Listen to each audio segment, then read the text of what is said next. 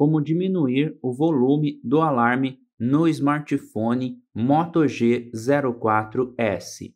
Você seleciona a opção relógio, depois seleciona esta opção e aqui você seleciona a opção configurações.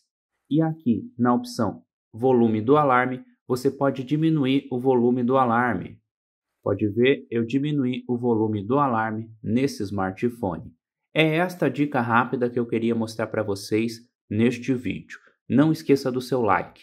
Veja também outras dicas deste modelo aqui em nosso canal. Muito obrigado e até o próximo vídeo.